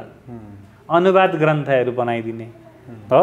अनि अङ्ग्रेजी पढाइदिने अनि त्यसमा पनि विश्वका अन्य संस्कृतिका कुराहरू पढाइदिने। अनि त्यो चाहिँ राम्रो हो भनेर त्यसमा करोडौँ रुपियाँ लगानी गरेर चाहिँ प्रचारबाजी गरिदिने। र यस्तो किसिमको शिक्षा नीति विदेशीले वर्षौँको है यो दुई सौ पाँच सौ वर्षको समय लगाएर हामीलाई हालिदिएका हुन्। र हामी हाम्रो रगतमा भएको संस्कृत भाषा वैदिक परम्परा जुन ज्ञान ओज जुन ऋषिसत्ता त्योबाट हामी कोसौँ टाढा पुग्यौँ। र हाम्रो माइन्ड सेट नै उनीहरू गरिरहेछन् अहिले। हेर्नु त आज मान्छेले कस्तो लुगा लगाउँछ जस्तो लुगा कम्पनीले लगाइदिन चाहन्छ। उसले एउटा डिजाइन गर्छ र करोडौँ लगाएर एड गर्छ। एउटा नायिका त्यो लगाएर लगाएको उभ्याइदिन्छ एउटा गीत बजाइदिन्छ त्यस्तै एड झुन्डाइदिन्छ अनि जिभ झुकिन्छ। ए यस्तो पो लगाउनु पर्ने रहेछ। त्यो मलाई लागेको हो वास्तवमा। मलाई त लगाइएको हो नि। हो? अनि यस्तो एउटा खानेकुरो बनाउँछ र त्यसको हजार एड गर्छ र तपाईँलाई। मोबाइल खोल्नु त्यही आउँछ टिभी खोल्नुहोस् त्यही आउँछ ऊ त्यहाँ होर्डिङ बोर्ड हेर्नुहोस् त्यही आउँछ। हो? स्टडी इन अस्ट्रेलिया भनेर भित्तै पछि घरको कुनैमा पनि झुन्डाइदिइरहेको छ। ए स्टडी भनेकै अस्ट्रेलिया रहेछ है क्या हो? भन्ने भयो नि त कि बिचरा एउटा गाउँबाट आएको अङ्कललाई study in Australia study in UK study in Nepal Sanskrit Vishwavidyalaya study in. Tribhuvan university लेखेर टाँसौँ न हामी चोक चोकमा लगाउँ न। स्टडी इन महामती प्राणनाथ संस्कृत विद्यापीठ भनौँ न। स्टडी इन गुरुकुल भनौँ न। आइहाल्छन् नि सबै पढ्न। तर हाम्रा केही मुठीभर मान्छे बिकाउ मान्छेहरूले जनसाधारणको भावनामाथि खेले सुभाषजी। जसले आफू स्वयं सोच्दैन हो ऊ भिडमा ऊ समूहमा हेर्छ ए यसै गर्दैछन्। जस्तो हाम्रो गाउँघरमै हामी गाउँ जाउँ त बाउले भन्छन् हे ऊ त्यो कोरिया गएर उसले अब जग्गा पनि किन घर पनि बनायो खै हाम्रो ठुलै पढ्छु भन्छ काठमाडौँ छ खोइ डिग्री पनि गर्यो भन्छ आउँदा मलाई पाँच सौ माग्छ। यो मुरो काम नदिने भयो। ल। त हाम्रो विचार सिधा बाउमा यो बुद्धि कहाँबाट आयो भन्दा सबै ट्रेन त्यस्तो चलाइदिएर उनलाई त्यो बुद्धि थोपरियो यो हाम्रो बुद्धि होइन र हामीले खोजेको पनि यो होइन आज गोर्खे बाउको छोरो गुन्द्रुक र ढिँडो खाएर अङ्ग्रेजको काम यहाँ कामदार तयार भइरहेछ र पाठ्यक्रम नै विदेशी डिजाइन गरेर हामीलाई अहिले हालिदिएकोले गर्दा हाम्रो बुद्धि नै के हुन्छ अब म चाहिँ यो पढेपछि किन यसको स्कोप नेपालमा छैन? भन्छन् नि अचेल केटाकेटीहरू। यो पढेको यसको स्कोप नेपालमा। स्कोप नभएको नेपालमा पढाएको किन? नपढाउँ जुनको स्कोप नेपालमा छ त्यो मात्रै नेपालमा पढाउँ न। योग युनिभर्सिटी खोलौँ न एउटा। योग मात्रै सिकाउँ योग सूत्र पढाउँ संस्कृत भाषा सिकाउँ वेद उच्चारण गर्न लाउँ हो? अनि बाह्र घन्टासम्म नहल्लिकन ध्यानमा बस्ने योगीहरू एक हजारजना बनाउँ त। अमेरिकाले दस लाख डलर दिएर लगिहाल्छ नि। लाँदैन त हामी कामै उल्टा गर्ने। जुन हाम्रो देशमा हाम्रो माटोमा हाम्रो भुइँमा हाम्रो पानीमा छैन त्यो बाहिरको प्रोग्राम आएर हाम्रो विद्या बुद्धिमा हालियो सुभाषजी। र हामी विसङ्गतिमा गयौँ। र हामीले के गर्न जरुरी छ भने अब यो आज म सुभाषजीको च्यानलमा बोल्दै गर्दा कसैले यसलाई यो सानो प्लेटफर्म भन्लान्। तर म यसलाई मान्दिनँ। अब हामीले यसरी निरन्तर बोलिरह्यौँ भने यो कुरो टिभीमा पनि बोल्नुपर्छ फेसबुकमा बोल्नुपर्छ मिडियामा हरेक युट्युबरले यी विषयमा ध्यान दिने हो भनेदेखि अरे संस्कृत पढ्ने कुरा भइरहेको छ सबैतिर संस्कृत पो पढ्नुपर्छ है क्या हो भनेर सोचिहाल्छ नि मान्छेले। सोध्छ कि सोध्दैन? त्यस कारणले गर्दा शिक्षा हाम्रो नि शुल्क दिने नै व्यवस्था थियो। र अहिले शिक्षालाई व्यापार बनाइयो हेर्नु न। अनि शिक्षाको लक्ष्य पूर्ति भएन। शिक्षाको अर्थ थियो मुक्ति शिक्षाको अर्थ भयो भोग अहिले। हो अब पढ्दाखेरि एउटा विषयमा डक्टर हुनैलाई उसलाई दुई एक डेढ करोड लागेको छ। अनि एउटा बिरामीको नारी समाको उसले दस हजार नलिए के गरोस् त? उसको त एक करोड उठाउनु पनि पर्यो। पैसा उठाउनै छ। बिचराले। हो। भारतमा त त्यो विवाह गरेर बिचरा त्यो दाइजोबाट उठाउने चलन छ नि अझै। अँ त्यो छुट्टै विषय भयो। होइन? त्यसरी विभिन्न तरिकाले। त अब एउटा खैकोनी के घोटेर खाँदा हाम्रो आयुर्वेदमा त्यो निको भइहाल्थ्यो फ्रीमा। यसो छामेको उसले केही पनि जान्दैन फेरि। मिसिनले मात्रै जान्दछ। मान्छेलाई पनि मिसिन बनाइयो। मैले मेडिकल साइन्सको विरोध गरेको पक्कै होइन। तर मेडिकल डक्टरहरूलाई पनि हामी नै जचाउन जाँदा पनि ऊ चाहन्छ ऊ केही जान्दैन। यो पनि टेस्ट गर्यो पनि टेस्ट गर्यो सबै मिसिनले भन्छ अनि हेरेर पो उसले गर्छ। तपाईँ एउटा आयुर्वेदिक वैद्यकोमा जानु हात समारै उसले तपाईँको स्क्यान गर्ने पनि छन् हामीसँग वैद्यहरू। उसले हात समायो भने तपाईँको त्यहाँभित्र घाउ रहेछ कहाँबाट जानु? यो विद्या के हो? मिसिन त लगाएको छैन। तपाईँको पछाडिपट्टि चोट रहेछ तपाईँलाई यस्तो यस्तो हुन्छ कि हुँदैन भन्दा हो हजुर भन्नुपर्छ त हामीले। अनि त्यहाँ खोइ त करोडौँको कुनै मिसिन छैन त। त यो विद्यालाई जगाउँ न हामी होइन? यो विद्यालाई किन नजगाउने? तपाईँलाई हेरेरै तपाईँको मन पढ्ने विद्या छन् हामीसँग। तपाईँलाई हेरेरै तपाईँको चाहत के हो त्यो बुझ्ने विद्याहरू छन् हामीसँग। त्यो विद्यामा अभ्यास गराउँ न। र त्यो विद्यामा अभ्यास गरेर संस्कृत पढाएर यी मेन पावर हामीले विश्वमा दियौँ भने मलाई त कस्तो लाग्छ भने सुभाषजी यो नेपाल त एउटा विश्वकै साधनालय बन्न सक्छ। समग्र विश्वमा अरूतिर काम गर्ने नेपालमा आएर ध्यान गर्ने। शास्त्र पढ्ने बोध गर्ने। बुद्ध जन्माउने देश हो नि यो। ऋषिहरू जन्माउने देश हो नि। र सारा विश्वका दुःखलाई चाहिँ नेपालमा बसेर तप गरेर ज्ञानले विचारले अभ्यासले नेपालको पानी पिलाएर हाम्रा हिमालयबाट आएका पानीहरू पिलाएर जङ्गलका जडीबुटीहरू खुवाएर अल्पाहार गरेर हामी साधनामा लाग्ने संस्कृत पढ्ने हो भनेदेखि विश्व परिवर्तन हुन धेरै बेर लाग्दैन जस्तो लाग्छ मलाई। डिप्रेसनको कुरा पनि गर्दै हुनुहुन्थ्यो। अलिक अलिकति थोरै यसमा अझै प्रकाश पारिदिनुहोस् न। अहिलेको जुन खालको नयाँ शिक्षा पाएको विद्यार्थी डिग्री गरिसकेकाहरू प्लस टू गरिसकेकाहरू टिकटकमा कसैले चाहिँ बुलिङ गर्यो अथवा मेरो चाहिँ त मोटो रहेछस् भोडे रहेछस् या पातली रहेछस् सिङ्कुटी रहेछस् भन्दा यस्ता आत्महत्या यस्ता। शब्दहरू भन्दा आत्महत्या गरेको पाइयो। यो गएको एक महिनाभित्रमा लगभग चार पाँचजना नेपालीले कति समय भने बाह्र वर्ष तेह्र वर्षको बच्चाले पनि र पच्चिस तिस वर्षका युवाहरूले युवतीहरूले पनि आत्महत्या गरे। यसमा पनि अत्यन्तै गहिरो मनोविज्ञान देख्छु मैले। आजको विश्वमा मान्छेलाई आजको शिक्षाले अत्यन्तै निर्जीवीकरण गर्यो। मान्छेलाई मिसिन बनायो यान्त्रिकीकरण भयो हामीमा। र मान्छेले नितान्त म एउटा शरीर मात्र हो भन्ने सोच्यो। हो। जबकि मानव भन्ने बित्तिकै दया प्रेम करुणा ज्ञान बोधका कुरा आउँथे नि हिजो। तर आज मानव भन्ने बित्तिकै कपाल नाक हो कालो कि गोरो फोटो कस्तो आउँछ? एउटा गुडिया र मान्छेमा खासै फरक हुन छोडो। हो? एउटा लुगा जस्तै नै मान्छेले आफूलाई पनि सम्झ्यो। र अत्यन्तै देहाभिमानी बनाइयो हामीलाई। हामीभित्रको भावना बोध ज्ञानको लय गराइयो। त्यस कारणले यदि मेरो सबैभन्दा ठुलो सम्पत्ति नै मेरो नाक हो भने हो? मेरो नाक बाङ्गो भन्यो भने त मेरो त जगै लगे जस्तो भयो नि त मलाई। हो। जबकि हाम्रो संस्कृत शिक्षामा मेरो सबैभन्दा ठुलो सम्पत्ति आत्मा थियो। मेरो सबभन्दा मूल सम्पत्ति मेरो आत्मा थियो ब्रह्म थियो। मेरो हातै काट्दा पनि कसैलाई म दिन्थेँ। हो मेरो हड्डी कसैले माग्छ भने पनि लैजा म त आत्मा हो भन्थेँ। मेरो त्यो संस्कृति थियो। अब तँ भनेकै तिम्रो चाहिँ कपाल हो है भन्छ साथीले पनि आएर। तिम्रो कपाल चाहिँ नकाट है भन्छ एउटा आएर बाफ्रे तिम्रो यो कस्तो यो भएको? तिम्रो चाहिँ तिम्रो यही यसको फोटो हाल न। भन्छ आएर अनि ऊ सिङ्गो मनुष्य एउटा म कपाल हो म कपाल हो। अहम ब्रह्मास्मि भन्ने जीव। अहम केशाह भन्दै पो बाँचिरहेछ।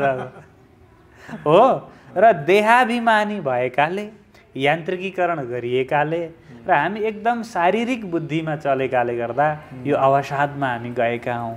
र मनको पूर्ण तादात्म्य शरीरमा भयो नि त। शरीर त भत्किन्छ मोटाउँछ दुब्लाउँछ। अनि मान्छेले सारा काम मनको लय गर्नमा लगाउनु पर्नेमा शरीरलाई मोटो बनाउने कि बलियो बनाउने? अग्लो बनाउने कि गोरो बनाउने कि कपाल कस्तो काट्ने भन्नेमै उसका अठार घन्टौँ समयहरू बिते। त्यस कारणले गर्दा यो पनि अशिक्षाको कारणले गर्दा हो। मान्छेहरू एकदम अशिक्षित भएका छन् आज। म अशिक्षा शब्द कहाँ प्रयोग गर्दैछु भने आज बजारमा भएको कागजलाई वेदले शिक्षा मान्दैन। ऋषिहरू शिक्षा मान्दैनन्। आज धेरै मान्छे अशिक्षित भए। सिप शिक्षा होइन। सिप त गर्दै गयो भने आउँछ। एउटा मोटरसाइकल बनाउने मेकानिकले अटोमोबाइल इन्जिनियर भन्दा धेरै जानेको हुनसक्छ। हो। एउटा इन्जिनियरले मैले अटोमोबाइल इन्जिनियर गर्दैछु भने एउटा भाइले अस्ति मैले भएकै कुरो नाम नलिउँ। अनि भाइ तिमीलाई साइकलको चेन चुडिएको बनाउन आउँछ। अथवा साइकलको त्यो अगाडिको पङ्चर भयो अथवा ब्यारिङ फेर्नु पऱ्यो भने आउँछ। त्यो आउँदैन पाँच लाख छ लाख खर्च गरेर पढिरहेछ। अनि त्यो त ऊ यहाँको एउटा साइकलवाला यसो खोलेर बनाइदिन्छ त। पढेको के? पढाइ यस्तो भयो हाम्रो। र पढ्नु पर्ने कुरो चाहिँ एकमात्र जान्नु पर्ने कुरो खोज्नु पर्ने कुरो हाम्रो शास्त्रले भन्छ त्यो हो आत्मा सम्पत्ति भनेकै आत्मा हो। होइन? आत्मा वा अरे द्रष्टव्य श्रोतव्यो मन्तव्यो निधिध्यासितव्यश्च भन्छ वेदले। त हामी शरीर पढ्छौँ के पढ्छौँ बाहिर वस्तु पदार्थमा हामी रम्छौँ र शिक्षाबाट कोसौँ टाढा हामी पुगेकोले हामी अशिक्षित भयौँ हामी अवसादमा गयौँ हामी विसङ्गतिमा पऱ्यौँ अब हामी के गर्दैछौँ भने हामी परस्पर कुटाकुट गरेर एक अर्कालाई चिथोरा चिथोर गरेर हामी बिस्तारै मर्नेवाला छौँ। यस्तै पाराले हो भने। हामीले संस्कृत पढिएन। हो शास्त्रको शरणमा गइएन भने अब हामी मान्छे चाहिँ हेर्दा मात्रै सुभाषितमला शास्त्रले भन्छ मनुष्य रूपेण मृगाश्चरन्ती। मान्छे जस्तो देखिने यो मृग नै हो है वन्य जन्तु नै हो। जसले आत्मा जान्दैन धर्म जान्दैन। भने भरिसक्के हामी त्यस्तै त्यस्तै नै हुन खोज्दै गरेको परिस्थिति छ आज विश्वमा। सब मान्छे भोकको पछि कुदेको छ। किन? अशिक्षाको कारणले गर्दा। आफू धनी हुँदा पनि म गरिब छु जस्तो मलाई लाग्यो। किनभने मलाई लगाइयो। मलाई त्यस्तै खालको शिक्षा प्रोग्रामिङ गरियो। मलाई बिहान उठेदेखि बेलुका नसुतुन्जेलसम्म चालिस अङ्क ल्याउन घोटाइयो। हेरौँ न शिक्षाको नाममा कस्तो विसङ्गति छ कस्तो व्यापार छ सबले लुटेका छन् ठगेका छन् दस लाख खर्च गरिसक्दा केही जान्दैन। हामीसँग बसेर दुई महिना गीता पढोस् न त्यसले बोध गर्न सक्छ। यो विषयले बडा सही कुरामा सम्झाउनु भयो मलाई। जस्तो अहिले हामीले जुन स्कुलमा पाँच सातवटा आठवटासम्म विषयहरू पढ्छौँ त्यसमा गणित हुन्छ विज्ञान हुन्छ अरू अन्य विषयहरू छन् विभिन्न विषयहरू छन् सामाजिकदेखि लिएर। अब के संस्कृतमा चाहिँ पहिले जब चाहिँ हामीले हाम्रो आफ्नो खालको परम्परा थियो यी सबै समावेश भएर पढाइन्थ्यो। के हाम्रोमा केही ल्याकिङ छ जुन चाहिँ उनीहरूको कुराले पूर्ति हुन्छ? कहिलेकाहीँ चाहिँ विद्वानहरूले के भन्ने गर्नुहुन्छ भने केही केही अब अहिले नयाँ खालको सोच भएका विद्वान हाम्रै संस्कृतिविदहरूले पनि के के भन्नुहुन्छ भने पश्चिम र पूर्वको मिलन हुनुपर्छ। पश्चिममा पनि केही कुराहरू छ। हामीसँग पनि केही कुराहरू चाहिँ कमी छ। र हाम्रा कमीहरू उनीहरूबाट पूर्ति गरेर हामी दुईवटा मिलेर अगाडि बढेको राम्रो हो। भन्ने खालको कुराहरू पनि गर्नुहुन्छ। हाम्रो संस्कृत भाषामा हाम्रो संस्कृतिमा हामीलाई सिकाइएको हाम्रो शिक्षा पद्धतिमा केही छ त्यस्तो अपूर्ण जुन उताबाट आय ल्याउनुपर्छ आयात गर्नुपर्छ? म पहिला के कुरो मान्न चाहन्न भने पश्चिम र पूर्व भन्नै म त मान्न चाहन्न। पृथ्वी एउटा छ। हाम्रो शास्त्रले के भन्छ भने दिशा एउटै हो। अनि पूर्व पश्चिम आदि भेद चाहिँ व्यवहारका लागि मात्रै हुन्। को पश्चिमको पूर्व। पृथ्वी घुमिरहेछ अघि पश्चिममा थियो अहिले पूर्वमा आउँछ। आउँछ। हो। त के हो भने यो यी सबै कुरा विचारका हुन्। हो। अब संस्कृत भाषा र अन्य भाषा अथवा संस्कृत वैदिक संस्कृति र अन्य संस्कृतिलाई विचार गर्दा वैदिक संस्कृतिमा सम्पूर्ण जीवन पद्धतिका लागि चाहिने कम्प्लिट कुराहरू छन् छन्। र अन्य संस्कृतिद्वारा अब आविष्कारका कुराहरू जुन पछिल्लो समयमा अन्य संस्कृतिबाट हुँदै आए र त्यसलाई विज्ञान उपकरणको नाम दिएर त्यसको विश्वव्यापीकरण गरियो। उनीहरू बजारीकरण गर्न सफल भए। त्यो अलग कुरो हो। तर अब त्यो उपभोग नगरी हामी बाँच्न सक्दैनौँ भन्ने चाहिँ होइन। त्यो चाहिँ मान्न मिल्दैन। तर आजको जगतमा उनीहरूको र हाम्रो चाहिँ भन्नु चाहिँ हुँदैन। व्यक्ति मात्रको मनुष्य मात्रको भन्दा चाहिँ राम्रो हुन्छ कि? किनभने वेद संस्कृत भाषा पूर्वको अथवा आर्य जातिको नेपालमा बस्ने काको भारतमा जा बस्ने काको होइन नि? वेदले जहिले पनि सम्बोधन गर्दा जीवलाई सम्बोधन गर्छ। गर्छ कुनै देशलाई गर्दैन। देश गर्दैन उसले देश चिन्दैन भाषा चिन्दैन जाति चिन्दैन। वसुधैव उसले जीव चिन्छ। जीव मात्र जगतमा दुःखमा छ। हो। चाहे त्यो चाइनिज जीव होस् कि नेपाली जीव होस् कि अमेरिकन जीव होस् कि अफ्रिकन जीव होस् न। हो। र शास्त्रले संस्कृत शिक्षाले जीवको कल्याणको कुरा गरेको हो।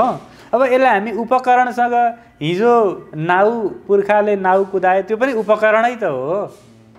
होइन? ख्याउने नाउ पनि उपकरणै हो काठले बनाएको ग्लास पनि उपकरण हो अहिले स्टिलको मेसिनमा पेले उपकरण उपकरणमा भेद छैन। प्रकार भेद मात्रै हो। जस्तो अहिले क्यामेरा मोबाइलहरू हामीले प्रयोग गऱ्यौँ उपकरण प्रयोग गर्नुमा केही भाषाको संस्कृतिको सम्बद्ध छैन नगर्न पनि सकिन्छ नि। यी प्रयोग नगर्दा हामी बाँचिँदैन भन्ने हो र। सबैभन्दा दुखी बनाएकै आज उपकरणले त छ नि। उपकरणहरू त हतियार हुन् नि। त्यसलाई सही प्रयोग गर्न जान्ने मान्छे सुखी होला। अश्वत्थामा जस्तो भए आजका मान्छेहरू। महाभारतको कथामा अश्वत्थामासँग पनि ब्रह्मास्त्र थियो। अर्जुनसँग पनि ब्रह्मास्त्र थियो। तर अश्वत्थामा ब्रह्मास्त्र कहाँ चलाउँछ भने महिलाको गर्भमा? त्यो ब्रह्मास्त्र चलाउने ठाउँ हो। एउटा अबोध शिशुको हत्यामा ब्रह्मास्त्र हान्छ। हो। त्यस्तै आज हामीले यी डिभाइसहरू भेट्यौँ उपकरणहरू भेट्यौँ अनि यो चाहिँ छुट्टै विद्या हो छुट्टै विधा हो भने यो विद्या नै केही होइन नि। एउटा मान्छेले प्रोग्रामिङ गर्दै सबैले कपी गरे बनाए। यसमा विद्याको के कुरो छ? यो त सिपको कुरो हो। होइन? जसले बनायो त्यो सन्त हो फेरि। आविष्कार हुनको लागि सिद्ध हुन जरुरी छ। नत्र जोसुकैले आविष्कार गर्न सक्दैन। तर एउटाको आविष्कार चाहिँ करोडौँले भोग गरे नि। भोगीहरू त आविष्कारक होइनन् नि। क्यामेरा बनाउने पो तत्त्वज्ञानी हो त। क्यामेरा चलाउनेलाई तत्त्वज्ञानी कसरी मान्ने? र म्यानुफ्याक्चर गर्ने कम्पनीहरू त कम्पनी त व्यापारीहरू हुन्। र बुद्धिजीवीहरूको अघि जुन कुरो गर्नुभयो हाम्रा गुरुहरूले बुद्धिजीवीहरूले भन्नुभएको चाहिँ के होला भने टेक्नोलोजीहरूको पनि प्रयोग गरेर संस्कृत भाषा शास्त्रहरूको प्रचार गऱ्यौँ भने अलिक हामी रिच पुग्थ्यौँ कि भन्ने कुरो हो र पश्चिमलाई नकार्न मिल्दैन पूर्वलाई नकार्न मिल्दैन होइन? मानवतालाई नकार्न मिल्दैन। हो? मनुष्यको मूल्यलाई अस्तित्वलाई नकार्न मिल्दैन। उपकरण त जसले जाँचे चाहिन्छ त्यो बन्दै जान्छ। प्रकृतिमा आविष्कार हुँदै जान्छ एउटा एउटा ठाडो प्रश्न मान्छेले के गर्छ भने विशेष गरेर हाम्रो संस्कृति हाम्रो संस्कृत वाङ्मय हाम्रो संस्कृत चाहिँ भाषा हाम्रो हामीसँग भएका शास्त्रहरू चाहिँ सबल हुन्थे भने किन हाम्रो क्षेत्र चाहिँ गरिब भयो र किन त्यो क्षेत्र धनी भयो? किन त्यो क्षेत्रमा नै सारा संसार हुमिएर जाँदैछ। कसैले अस्ति भन्दै थियो कि नेपालबाट अमेरिका जान अस्ट्रेलिया जान युके जान भिजा चाहिँ फ्रीमा दिने हो भने यो देशमा एकजना व्यक्ति पनि रहन्न। सबै विदेश जानेवाला छन्। फ्रीमा चाहिँ जान दिने हो भने सबै उता जान्छन्। यहाँ बस्न कोही चाहन्न भन्ने खालको कुरा गर्दै थिए। मतलब हामीसँग न हामीसँग एटम बम छ न त्यो उनीहरूले भनेका है। कुरो। अ, न हामीसँग टेक्नोलोजी छ अन्य कुराहरूमा न हामीसँग प्लेन थियो न हामीसँग चाहिँ ठुला ठुला बिल्डिङहरू थिए न हामीसँग गाडी थियो। न पैसा थियो भनेर भन्ने खालको कुराहरू गर्छन्। हालाकि यसमा हरेक उनीहरू नै धनी भए उनीहरूसँग सबै कुरा छ। आज चाहिँ न हामीसँग राम्रो चाहिँ शासन पद्धति छ। हाम्रो शासन पद्धति फेल भयो। उनीहरू सफल भइरहेछन्। यस्तो खालको प्रश्न गर्छ मान्छेले। अब यसमा मैले गरेको प्रश्न होइन। के हो भने धनी माने के भन्ने कुरोमै हामी पहिला क्लियर हुनु पर्ला धन के हो? होइन? हामीले त धनभन्दा फेरि कुरोमै जोड्दैछु आज संस्कृतकै केन्द्रमा आउन चाहन्छु। हामीले त विद्याधनम सर्वधन प्रधानम भन्यौँ। हो। हामीलाई त ऋषिहरूले यो सिकाउनु हो। हाम्रो धन त विद्या हो। र विद्या के हो? जसले मुक्ति दिन्छ जोडियो अघिको कुरोमा। र हामीले ठुला ठुला घर हुनुलाई धन मानेनौँ। हो?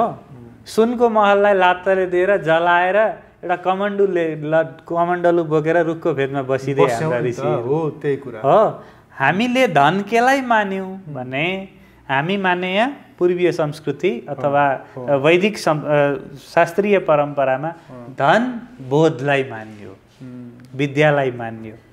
र अशिक्षित व्यक्तिहरूले केलाई धन माने? मुद्रालाई पदार्थलाई सुन चाँदी हिरा मोतीलाई। हो।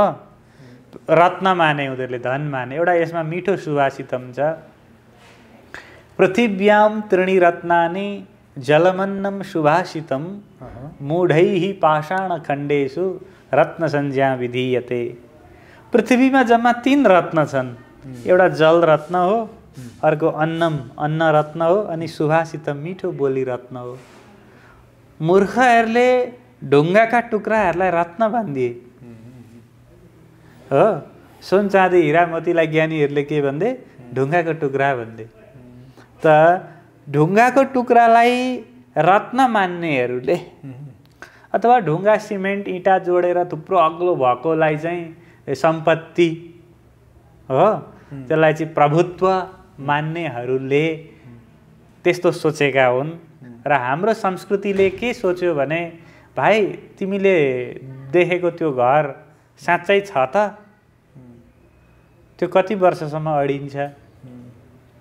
तिम्रो शरीरको ग्यारेन्टी छ। तिम्रो विचारको ग्यारेन्टी छैन। अनि जो कुरो नाश हुन्छ जो नश्वर छ जो विनाशील छ त्यसलाई सम्पत्ति मानेनन् हाम्रा ऋषिहरूले।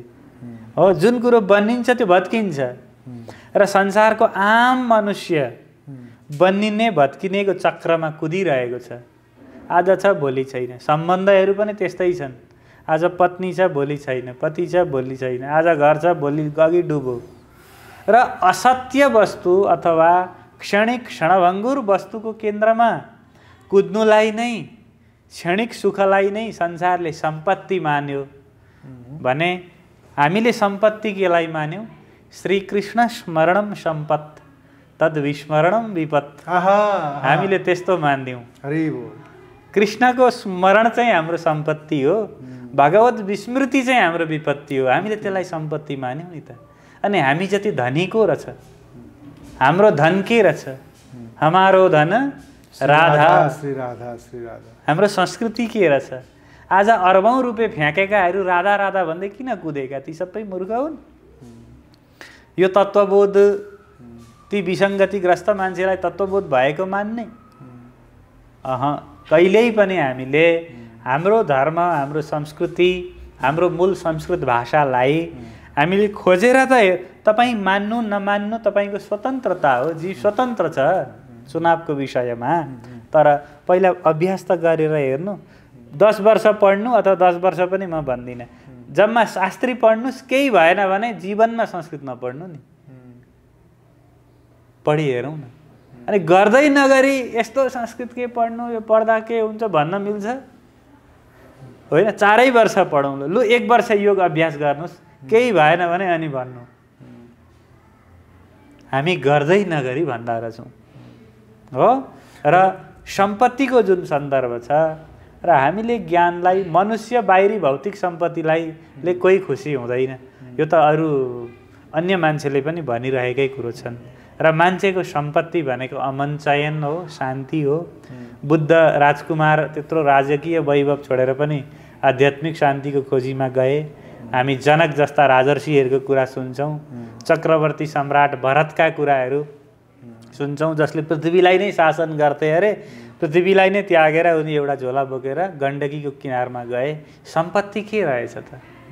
र हाम्रा पुर्खाहरूले हामीलाई त्यो सम्पत्ति तात्विक सम्पत्ति देखेकोले हामीले भौतिक सम्पत्तिमा रुचि नराख्दा भौतिकवादीहरू हामी धनी भयौँ भनेर भ्रममा भएका मात्रै हुन् तर हामी नितान्त जहिले धनी नै छौँ। संस्कृत भाषा संस्कृत विद्या परम्परा साधकहरू धनमै छन्। त्यो परमधन नै त्यो हो।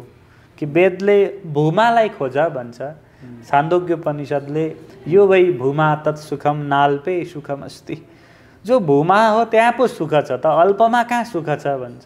जगतलाई त हामीले अल्प मान्यौँ। हो जगतको जो कारण ब्रह्म हो त्यो पो भूमा हो त। त्यहाँ पो वास्तविक सुख छ त हामीले भन्यौँ। र एटमका कुरा उका कुरा ल्याउनु भयो जेसुकै पड्काएर जहाँसुकै उडेर हिँड्दाखेरि पनि जीवले हाम्रो सम्पत्तिलाई न चोर्न सक्यो न देख्न सक्यो न चिन्न नै सक्यो। जगत त ब्रह्मा पो रहेछ त। उसले त हाम्रो सम्पत्तिलाई देखेकै पो रहेन रहेछ। हो र ती सम्पत्ति चोर्ने सम्पत्तिका चोरहरूले पनि चोरे भने हाम्रो सम्पत्ति कस्तो रहेछ भने जो चोर्न आयो त्यो त्यहीँ हरायो। ज्ञानको सम्पत्ति त त्यस्तो रहेछ नि। सन्तलाई लुट्न गएका कोही सन्त नै भए अरे भन्ने हामीले कथा सुनेका छौँ नि। र आम जनताले हामीले जुन संसारको एकछिन एउटा अलिकति घर जग्गा टिभी गाडी ल्याएर चाहिँ खुसी हुन्छ कि भन्दा मान्छेलाई पृथ्वी नै पास गर्दै पनि मान्छे खुसी हुँदैन भन्छ शास्त्रले। हाम्रो शिक्षा त्यो छ। हो पृथ्वी नै पास गरिदिउँ। ल तेरो पृथ्वी ग्रहै तेरो भयो भन्ने भने त्यो मङ्गल पनि मेरो भए चाहिँ हुन्थ्यो भन्छ मनुष्यले। मान्छेको तृष्णा त्यस्तो छ। त्यस कारणले गर्दा तृष्णालाई घटाऊ।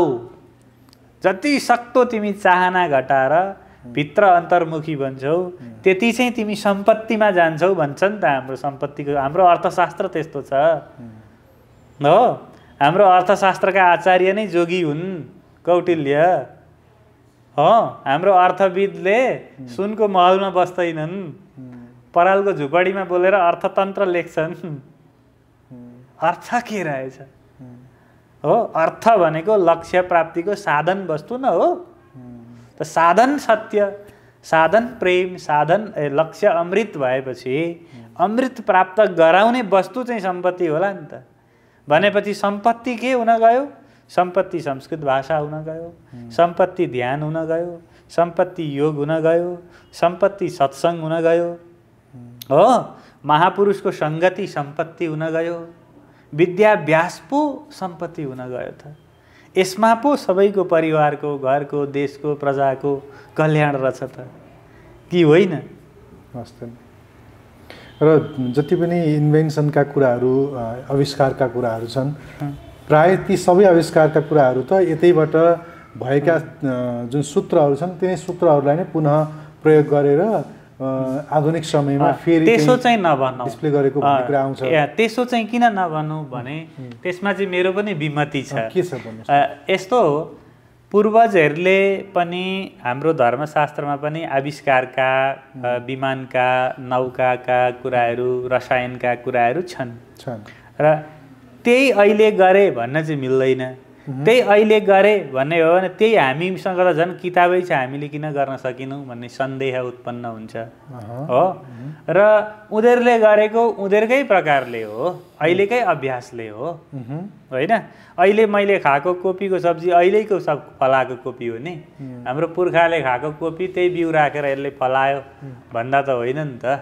त अहिलेको बुद्धिले अहिलेको विज्ञान प्रयोगले जसरी जसरी गर्यो पहिला कसरी गर्थे भनेर सन्दर्भ सामग्रीको रूपमा हेर्न सक्छन्। तर आम जनताले चाहिँ कसरी बुझ्दो रहेछ भने त्यहाँ एउटा त्यस्तो सूत्र लेखेरै राखिदिएको छ। अनि त्यो सट्टै पढेर सट्टै गर्दा फुत्तै विमान उडिहाल्छ भन्ने सोच्छन् क्या मान्छेले। त्यसो चाहिँ होइन। त्यतिखेर गर्ने ऋषिहरूमा त्यो मेधा थियो त्यो शक्ति थियो त्यो गरे। र त्यो कुरो गर्न अहिले हामीले सकेका छैनौँ। यो हाम्रो अल्पज्ञता हो। हाम्रो कमजोरी हो नि यसलाई हामीले स्वीकार्नुपर्छ। हो आज मैले हाम्रो शास्त्रहरूमा अध्ययन गर्न पनि बाँकी छ। गर्न बाँकी छ। हामी गरौँ। खोज हामीले। खोज गरौँ हामी पनि बनाऊ। र अहिले हामीले यी घडी बनाउन मोबाइल बनाउन विमान बनाउन लाग्नु पर्दैन। बनाए बनाएकामा चढौँ न। अब हामीले के बनाउनमा लाग्नुपर्छ? अब हामीले बोध बनाउनमा। सबै घडी बनाए मोबाइल बनाए दुई सौ तला घर। बनाए हेलिकप्टर बनाए उड्दैछन्। उडुन् न हामी पनि चढौँ उडौँ। तर यति जरुरी छैन। भएको प्रयोग गरौँ। र यो सबै प्रयोग गरेर मान्छे दुखी भए। अब साधमा गए। अब यिनीहरूलाई ध्यान गराउँ न हामी चाहिँ। हामी किन फेरि एउटा इलेक्ट्रिक बाइक बनाउन कुद्नु? बनाएकै छ ल्याएर कुदाइहालौँ न। भइरहेको कुरोमा किन झमेला गर्नु? घडी बनिरहेछ म सिधै हेरौँ न मैले। सकिएको त। फेरि घडी नै बनाउन लाग्ने होइन नि मैले। मैले नभएको बनाउने नभएको के छ? ज्ञान छ। ज्ञानको कमी भयो। गीता पढौँ न मैले अब। मैले उपनिषद पढ्न थालौँ न म महावाक्यको विचारमा लागौँ न। यसको अहिले आवश्यकता छ बजारमा। घडी मोबाइलको के कमी छ? हेलिकप्टर गाडीको के कमी छ? भएको प्रयोग गरौँ। र हामीले हाम्रो ज्ञानको कुरोलाई हामीले खालि भौतिकतालाई जोड्छौँ संस्कृतलाई पनि वेदलाई पनि लगेर भौतिकतामा भौतिकताको कारण वेदको महिमा पटक्कै होइन। भौतिकताको कारणले वेदको महिमा हुन्थ्यो भने वेद अहिले रहँदैन थियो। हाम्रो शास्त्र पुराणहरूको प्राण भनेकै बोध हो आत्मा हो। आविष्कार यसैबाट भयो गीताको फलानु श्लोकबाट मोबाइल बनियो यी कुराहरू सबै अनावश्यक कुराहरू हो। भौतिक जगतले जुन परिश्रम गर्यो साधना गर्यो अभ्यास गरेर निकाल्यो ठिक छ राम्रो कुरो हो। यो लोकका लागि भयो। यो तत्कालका लागि भयो। तर स्थायी चाहिँ भएन है कुनै पनि। अब एउटा कुरा। हामी स्थायित्वमा जाने अभिरुचि हाम्रो हो। संस्कृत पढ्ने भनेर भनिरहँदा हुँ। मान्छेले के भयो हुन्छ भने यो चिज गर्ने भनेपछि त्यो गरिरहेको मान्छे कस्तो देखिन्छ समाजमा त्यो मान्छेलाई हेरेर हेरेर एउटा मानक बनाउँछ। अनि अँ यस्तो बनिँदो रहेछ त्यसले गर्दा भन्ने यस्तो देखिँदो रहेछ त्यसले गर्दा भन्ने भन्ने हुन्छ। के हाम्रो समाजमा संस्कृत पढेका गुरुहरू संस्कृत पढाउने गुरुहरू सबै त्यस्तै अवस्थामा हुनुहुन्छ? किनभने चाहिँ वाल्मिकीबाट पढेर निस्किएका सबै विद्यार्थीहरू के संस्कृत भाषाप्रतिको त्यत्तिकै गर्वबोध चाहिँ हिँडिरहनु भएको छ। अब यस्तो छ विश्वविद्यालयको कुरो या अन्य गुरुकुलबाट अ, र व्यक्तिको कुरो गर्दा त्यो व्यक्तिले कति निष्ठासँग त्यो गर्यो भन्ने कुरो रहन्छ। हो? त्यसो भए के अटोमोबाइल इन्जिनियर पढ्नेले सबैले गाडी बनाए बनाए त। बनाएन नि बल्टु खोल्न नजान्ने पनि छन् नि। हो त संस्कृत शास्त्री गरिसक्दा त्यो ऋषि बनिहाल्छ भन्ने होइन। त त्यसको प्रचुरता चाहिँ यसमा छ। दुई चार वर्षमै बन्ने कुरो होइन यसको लागि लामो अभ्यास लामो निष्ठा होइन। के अङ्ग्रेजी पढिसक्दा चाहिँ त्यो बिलगेट भइहाल्छ। होइन? अङ्ग्रेजीमा दुई लाइन लेखिसक्दा सेक्सपियर भइहाल्छ। संस्कृतमा चार वाक्य बोल्दा कालिदासै भइहाल्छ व्यास भइहाल्छ। अभ्यास हुन त अभ्यास गर्नु पर्ला नि उसले। र तत्काल गर्न नसक्ला तर संस्कृतमा यो सम्भावना छ धेरै भएका छन्। र संस्कृत पढेका मान्छे अपवादलाई छोडेर किनभने सम्बद्ध व्यक्तिको सम्बद्ध पद्धतिमा आक्षेप गरिन्छ। जस्तो एउटा संस्कृत पढेको मान्छेले कहीँ चोरिदियो अथवा कतै फटाइ गऱ्यो भने ए संस्कृत पढेका फटाइ आउँदो रहेछन्? भन्छ मान्छेले। साधारणीकरणको सिद्धान्त लागु हुन्छ। त्यसरी नमान्दा धेरैजसो संस्कृत पढेका गुरुहरू विनम्र छन् कम उपभोग गरेका छन् सादा जीवन नै जिएका छन् सादगी पूर्ण नै छन् बिस्तारै बोलेका छन्। हो कि होइन? आक्रामक छैनन् स्वरोजगारी नै छन्। बाँडेरै खाएका छन्। लोकको हितोसै भनेकै छन्। केहीलाई छोडेर। हो? त प्राणीहरूमा दया करुणा प्रेमको भावना बताएकै छन्।